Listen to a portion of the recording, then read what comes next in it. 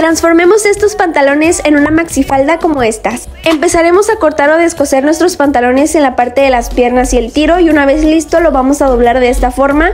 Con ayuda de un jabón o un gis vamos a marcar en la parte de enfrente y la parte de atrás desde donde inician los bolsillos o desde el tiro, dependiendo qué tan ajustada quieras tu falda. Aquí tengo la aguja y el hilo y vamos a empezar a coser. Yo cosí hasta la parte de abajo porque haré una abertura a un lado, pero tú puedes dejar la abertura hasta donde quieras. Si quieres una falda sin aberturas, usa pantalones flojitos para que no te quede muy apretada. Como no sabía el arco que quería de la falda, la cosí y después la corté, pero tú puedes cortarla antes de coser. Y este es el diseño del cual me inspiré, entonces marqué y después hacemos changuitos para que nos quede el corte bien y así es como nos quedó, la verdad está súper fácil de hacer, lo hice en dos horas y este es el resultado.